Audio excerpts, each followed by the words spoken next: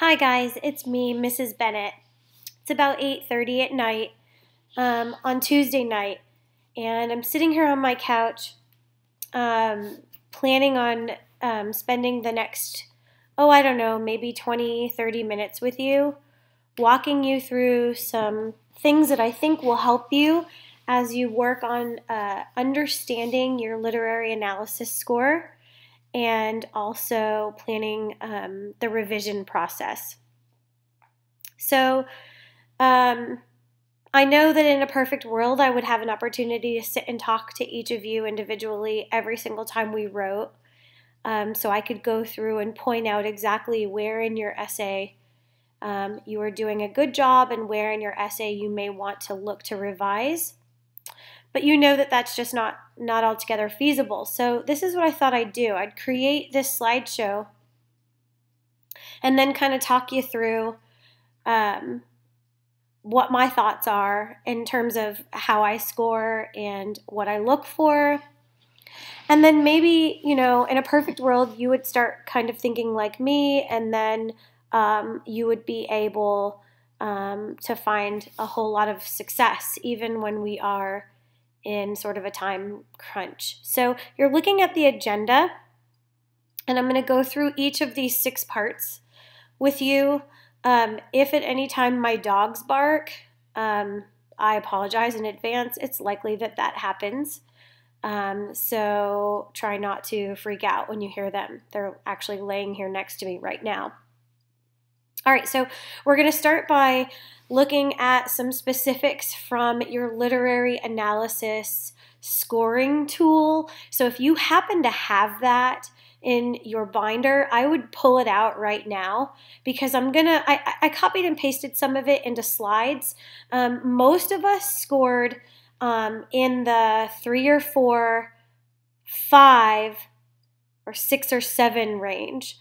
Um, even if you're scoring twos, uh, that's probably not happening all the time. So you might want to kind of take a look at typically what you score. I think it's really about time you start making a real conscious effort to pay attention to what you're scoring and why, um, not just look passively at your score and move on. Um, if you're scoring high, like typically eights and nines, um, that's pretty awesome just make sure that you know what you're doing to stay up there. Um, okay, so then we're going to move into organization and talk specifically about thesis statements and assertions. Um, then, of course, text evidence and analysis. So, three and four, we'll be talking about chunks. Um, and then I am going to give you um, a quick rundown on conclusions and, um, and then maybe talk to you a little bit about how to create a level of sophistication. So here's the thing, you guys. I've talked to you about all of this stuff for the last, oh, I don't know, for most of you, it's been almost two years. But maybe if we have this video, you can go back to it and read and listen and look at certain parts of it over and over again until you, you're really clear as to um, what it is that you're kind of supposed to be doing when you write. Um, okay, so let's get started. Super fast, the nines and eights, this is what they do, and this is copied and pasted right from your scoring tool. If you get a grade back, or a score back on a paper, and you don't look at this page, I can't fathom how you think you're going to change um, uh, what you're doing or even maintain what you're doing well. So, real fast with me, look at what nines and eights do. Um, they're characterized by a persuasive analysis. Um, they offer a range of interpretations, convincing readings of both complex meanings of the abstract and concrete parts of the prompt. So that's really heavy. That means you're not only doing what you're supposed to be doing and analyzing the abstract and concrete parts of the prompt, but you're offering really kind of insightful and complex meanings for how the concrete contributes to the abstract. We call that perceptive analysis. And you've heard me say clear and sophisticated. And we can talk a little bit more about how we make that happen. All right, super fast. Sevens and sixes. This is where we should be aiming. If you're writing a six, aim to get on the high level here. So aim to get to be the seven. Um, do that before you start aiming for nines. It's just a little bit more feasible. All right, these essays offer a reasonable analysis of the author's language. Um, and um, they're kind of attempting to develop complex meanings, which is which is awesome. That's a really great starting point. Um, what you need to know is that sevens and eights are less thorough. You know what that means? That means you need to write more. Um, keep asking yourself, well, how did that happen, or what does that mean, and then answer the question. Um, these essays are oftentimes less precise. That means the diction isn't as clear. I'm going to show you some examples of that today uh, here in the next couple of slides. Um, and your discussion of the depth of the abstract part of the prompt and the concrete language um, probably is less precise there too. Um, I think the biggest part of sevens and sixes, and I know a bunch of you got sixes, so look closely at this last part. Um, your analysis of the relationship between the concrete and the abstract is less convincing. So that's something to keep in mind. I think we talked about this last year as ninth graders. It probably didn't make as much sense to you. But now that you're actually able to look at chunks of your analysis, you can probably sense where you aren't really talking about how the concrete contributes to the abstract. I'm going to show you a sample here in a minute. Fives. This is a lot. I'm not going to read it all to you the way I just did with the sixes and sevens, but here's what you should know. Fives do what they should be doing, um, but in a very superficial way. That means you just touch on meaning, but you don't really get into how meaning is created. Um, this second part here says the analysis of the abstract or of the concrete may be vague, even formulaic. If you're still working through the template, you're probably scoring fives. Um, and you might be sort of minimally supported by references to the text. That means you give me a text, evidence, you give me a quote, but you don't tell me which part of the quote contributes to your next thought. Sometimes fives even minorly misinterpret parts of the text. So you'll see me on your paper say, mm, not sure I agree with this image. Um, that would be like a minor misinterpretation. Last part, important. These essays demonstrate some control of language, but might be marred by surface errors so those of you who aren't employing commas when you should, or you're misspelling like the author's name, or mispunctuating um, using apostrophes, or even such little things like titles, this is these are surface areas, and they add up, and you won't ever get higher than a five if your essay has you know three or four or six of them. Okay. Um, Okay, next. So fours and threes, these are our lower half essays. They fail to offer an adequate analysis. This means that you might have half of an analysis. They're, it's partial. Maybe you talk a lot about the concrete, but not at all about the abstract. Maybe you're talking all about the abstract Dickens feelings, but you're not telling me what the language does to support it. Um, they might be, these papers are sometimes unconvincing. You tell me something and I go, that doesn't naturally make sense to me. Hey, so the repetition um, um, highlights Dickens' hatred towards the revolution. Well, no, I mean, how am I supposed to make sense of that? You have to tell me how one contributes to the other.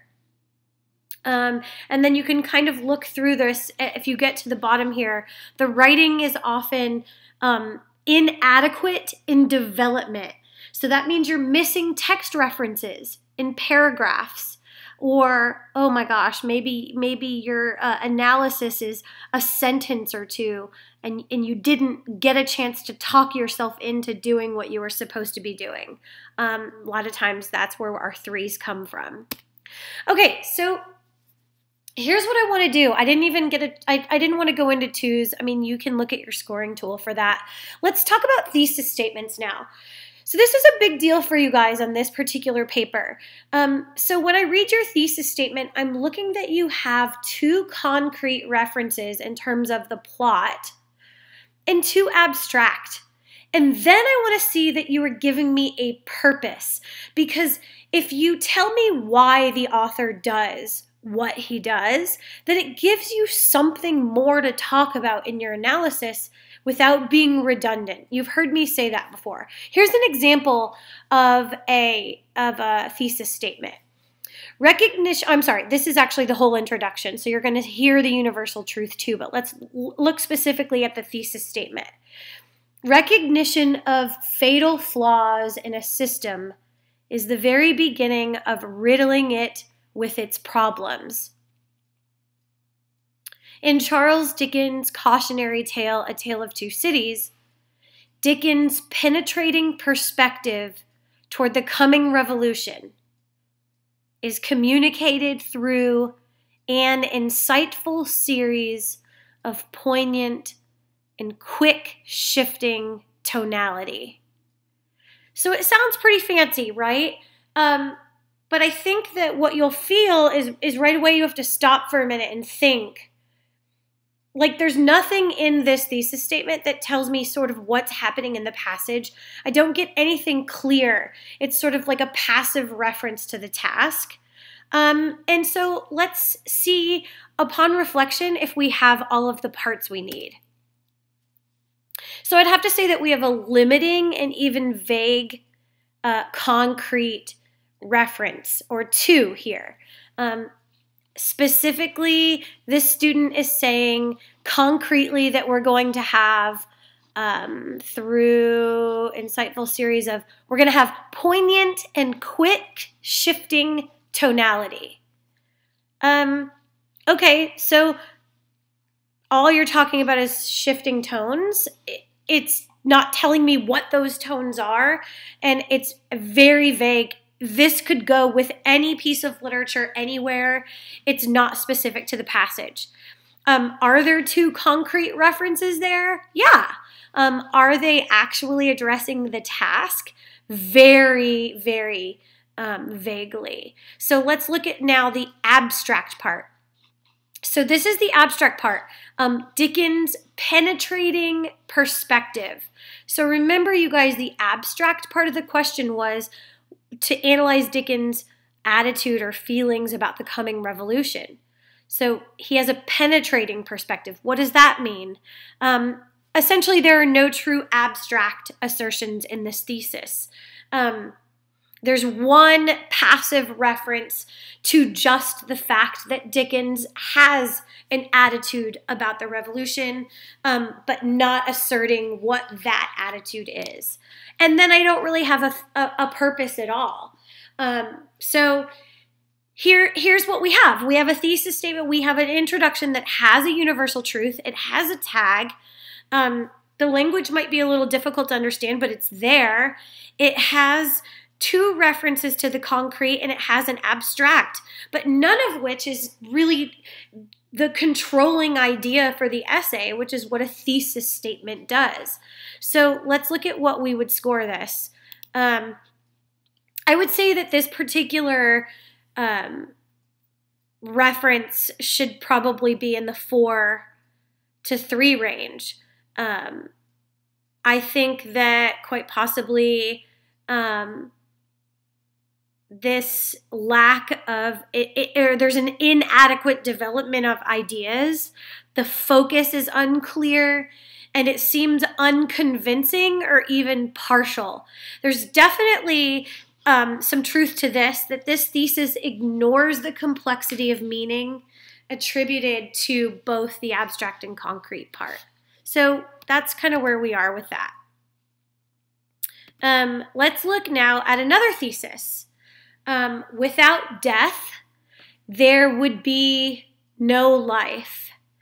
In Charles Dickens' cautionary tale, A Tale of Two Cities, Dickens' portrayal of the hope that Madame Defarge installs into the people, knitting, and the ominousness of Saint Antoine pre revolution highlights Dickens' view that the chaos of the revolution will restore the purpose of living for the people of Saint Antoine. Okay, so upon reflection, we have clear, concrete references. We have the portrayal of hope given or instilled um, by Madame Defarge into the people. And number two, we have the ominousness of Saint Antoine.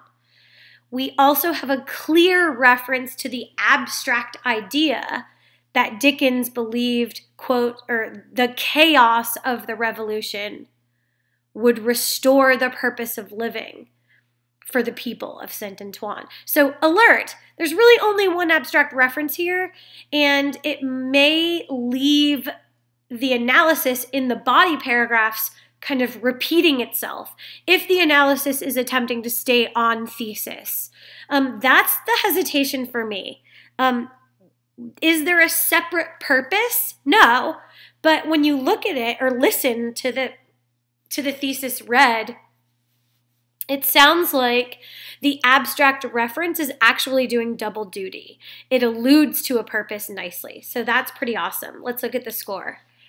I give this, this is on the road for a seven.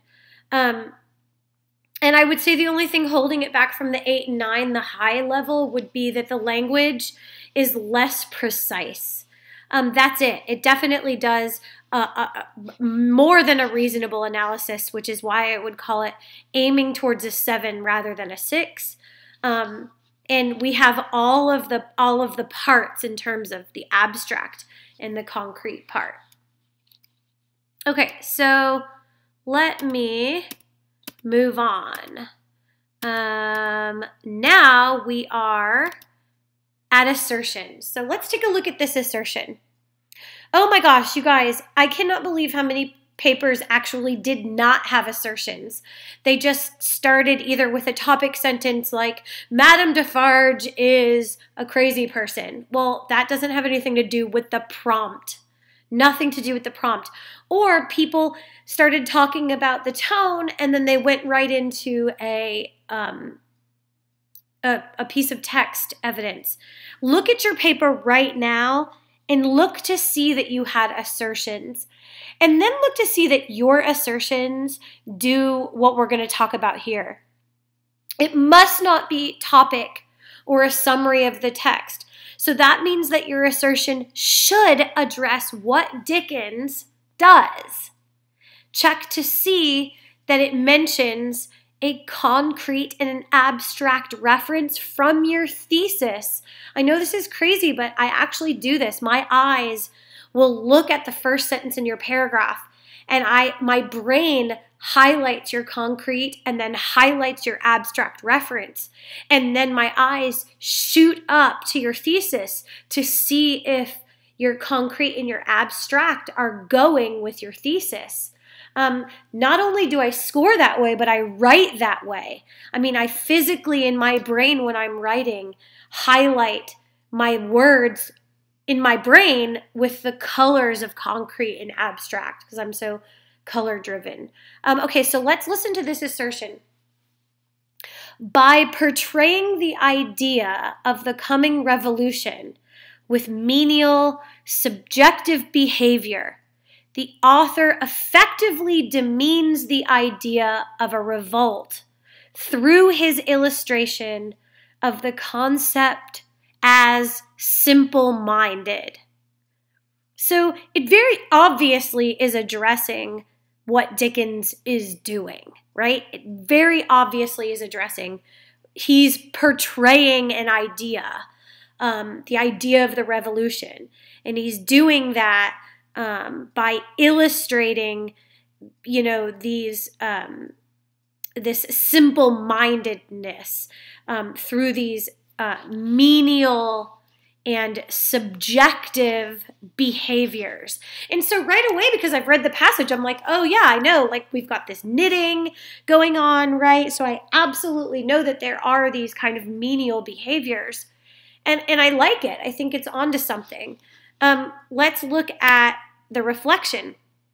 So their concrete references are notable, menial and subjective behavior, and also simple-minded. It's awesome. There are two definitely def, uh, there there are multiple references to the concrete there.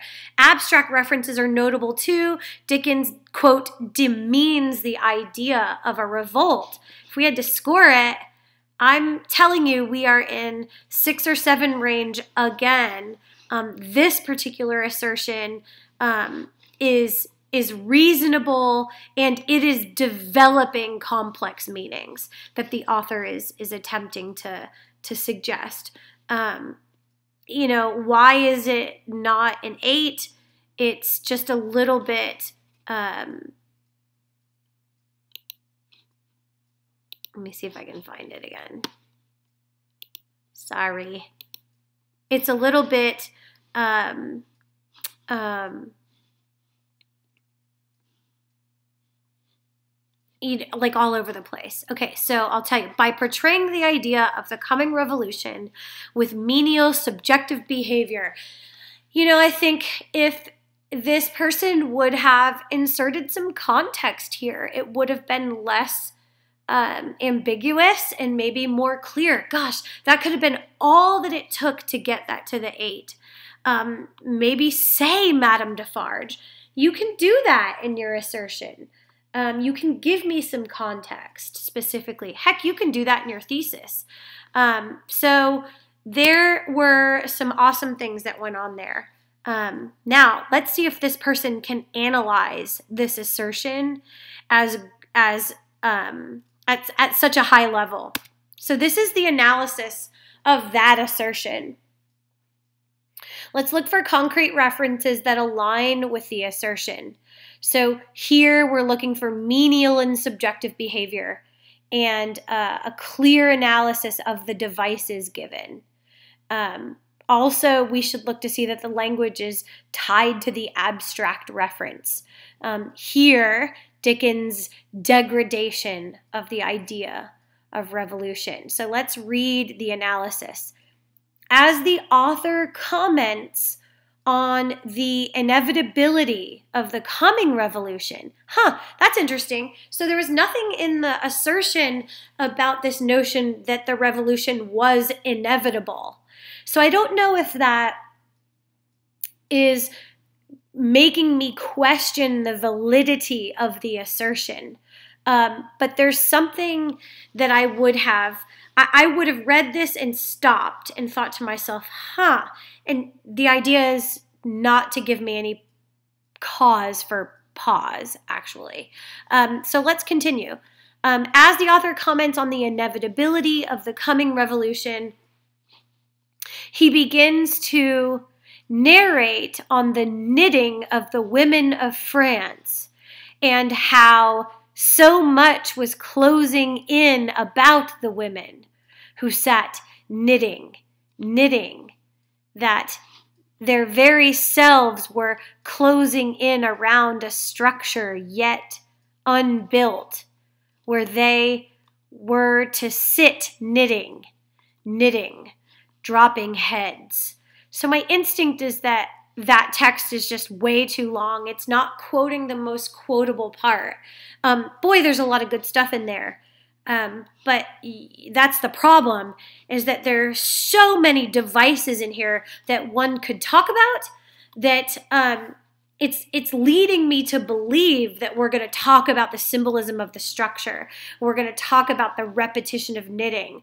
We're going to talk about um, this closing in um, because it's repeated as well. So the imagery of that. There's so much. The dropping heads, um, which is you know there's an, a, a, syntactically this ellipsis here, and um, and my goodness, there's so much to talk about.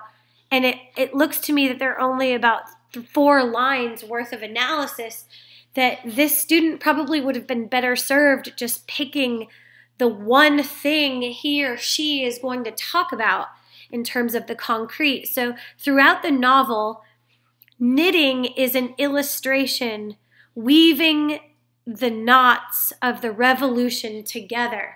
So very poetic um, sounds a little bit like we're getting at symbolism, um, though, I'm sorry, through the repetition of the concept, meaning of knitting, uh, good concrete, Dickens' derogatory referencing to the revolution conveys his belief that it is simple and destined for ultimate failure.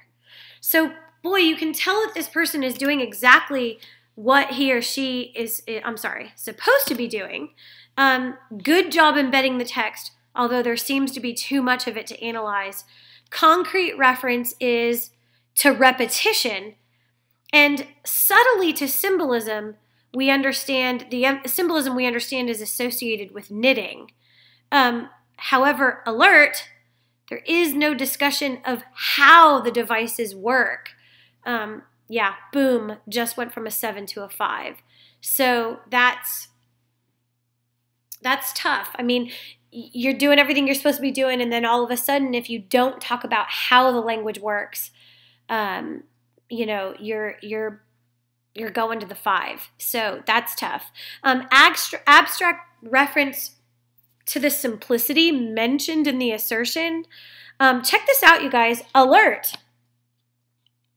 I actually have no clue how I'm supposed to understand that repetition contributes to the belief that revolution is simple. Okay, hear me on this. It's not the repetition that does that. It's the simple task of knitting. So I know this student wanted me to think about knitting as like what grandmas do, right? Like it's this simple, mundane task that happens without thought. And so that somehow parallels the simplicity of um, you know the the revel i don't you know i don't know that would have worked but repetition doesn't by definition do that now had the student defined repetition for me or for himself uh, then it's likely that um, that would have been made understood. So it's doing everything it's supposed to be doing. Um, it's just not complete and thorough. And there is actually a partial analysis of the concrete because we don't know what the device is doing by definition. And so therefore we have a five.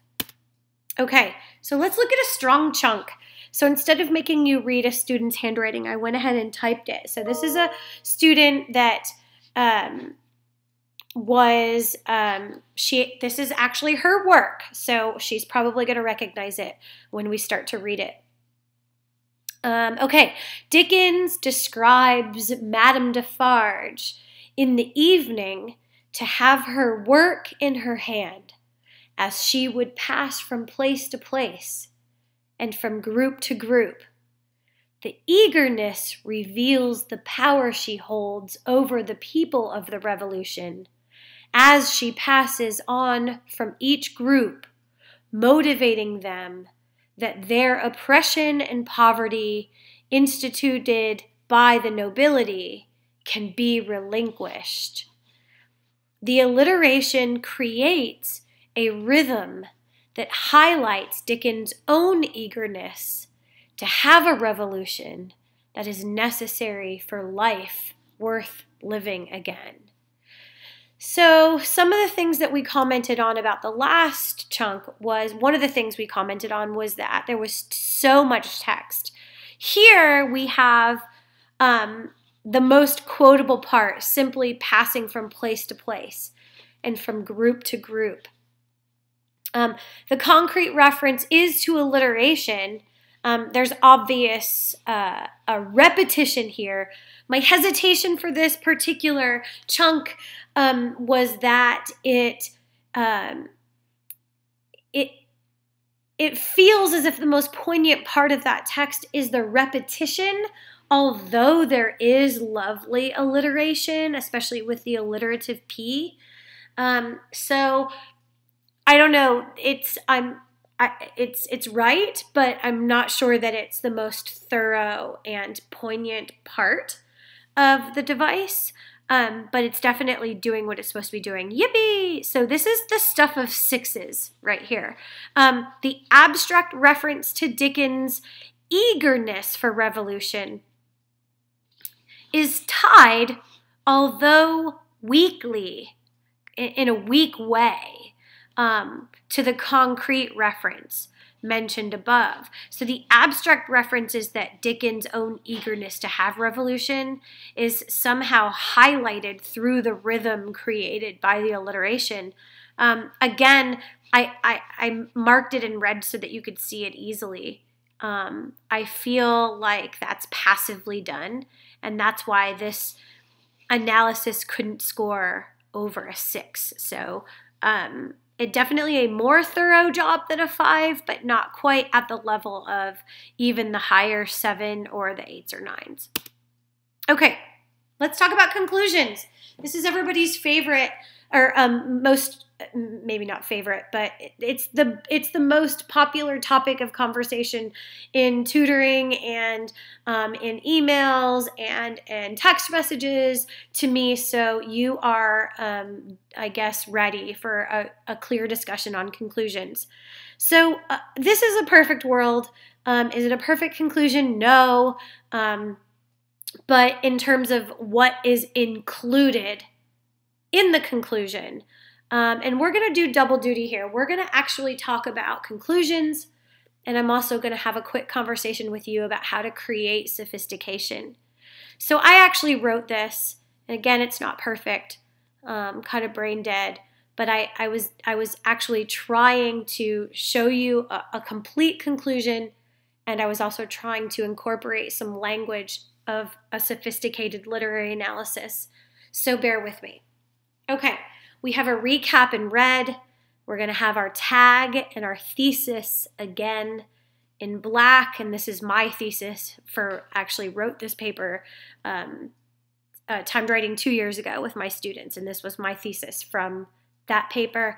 And then um, a universal truth uh, at the end, actually. So it's kind of the inversion of what we do in an intro tag thesis and then close with a universal truth you want your last thought to be sort of lingering in the minds of the grader, like you're you're attempting to to change their ideas about something or or you know just the last taste they have in their mouth after reading your paper is this lesson about life which we know is a universal truth.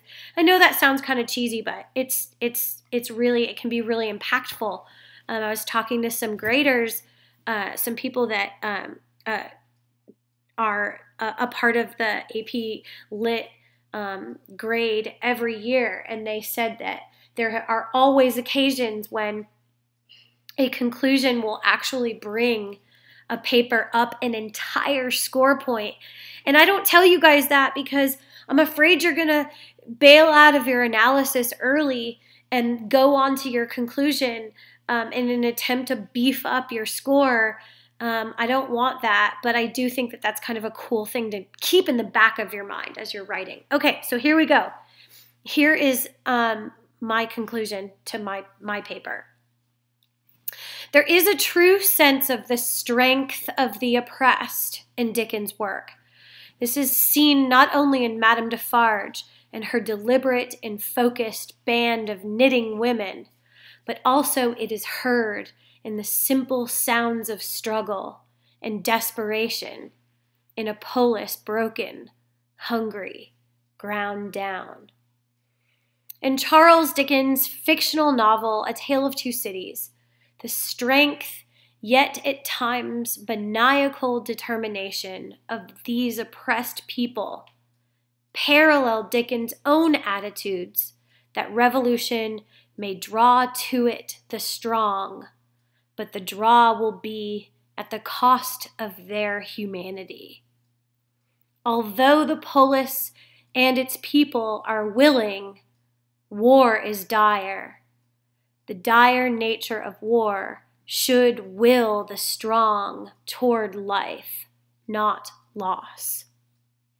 Okay, so um, you can go back and read that kind of on your own time just to sort of see. But you see the part in red here is is, is a recap. It's sort of like a quick summary of essentially what I talked about in my paper and um, and I'm talking about Dickens and I'm talking about Madame Defarge and I'm and I'm being a little bit colloquial when I say the band of knitting women, you know, but because I kind of think of her as like a thinking of herself as kind of this Robin Hood character with his band of merry men. So I was trying to sort of allude to that there. Um, and then you can tell that I was in my paper talking going to talk about imagery. Um, so I sort of mentioned it here, um, and and just the struggle of of the oppressed people. So um, then you have my thesis, and um, these would be my concrete that we have a strength of people that I'm going to talk about, and then we're going to have this um, a, a, similar strength, but it's moved now to maniacal in determination. So that's um, like like the determination of a maniac, right? So um, those are my two concretes, and um, and then my idea about the abstract is that Dickens um, believes not only that revolution the notion of revolution draws to it the strong willed, but that that very draw will be at the cost of their demise, essentially their loss of life, sure, but more importantly, their loss of humanity. Because, you know, I'm a humanities teacher, so that's kind of always at the forefront. And then here was my my universal truth this notion that, you know, um, um, the people are willing to go to war, and war is is like horrible. Um, the truth, though, is that their willingness should essentially be redirected towards um, bringing more life, not causing more loss. So this is kind of my theory. What what I'm sure you can see that I've done is I've been hyper vigilant about employing advanced syntax all throughout the conclusion. Um, because I know that that's what Dickens does in his work, I'm trying to mimic that in my writing as a way of hinting to the author that besides just the prompt, I understand what Dickens' language does as a whole.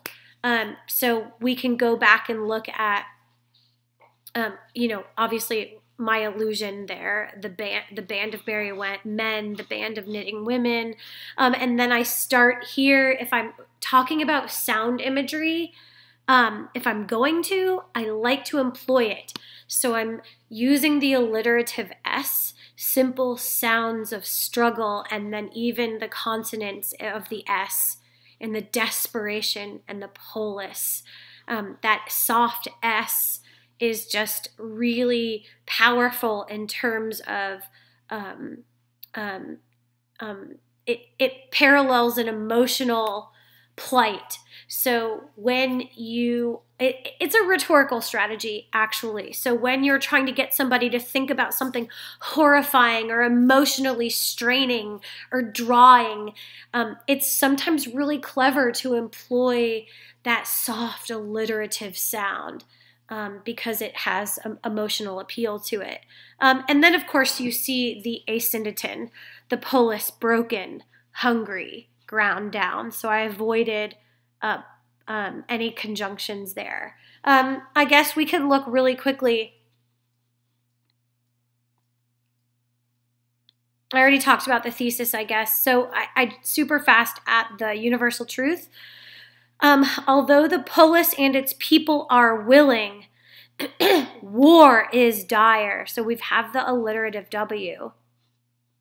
But now watch the anadiplosis the dire nature of war should will. So I actually had will A war B dire C, and now I'm going to go C war B will A.